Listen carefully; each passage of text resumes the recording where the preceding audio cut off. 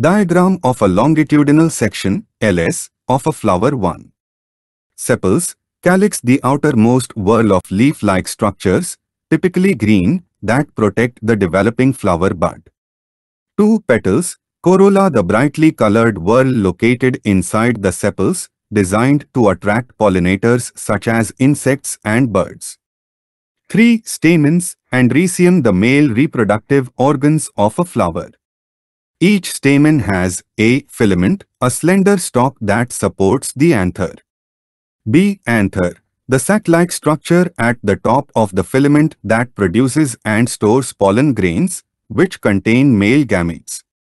4. Pistil carpel, gynoecium the female reproductive organ of a flower. It has three main parts, a stigma, the sticky top part of the pistil, adapted to receive pollen grains. B. Style, a slender tube connecting the stigma to the ovary. C. Ovary, the swollen base of the pistil that contains ovules, which hold female gametes. Additional notes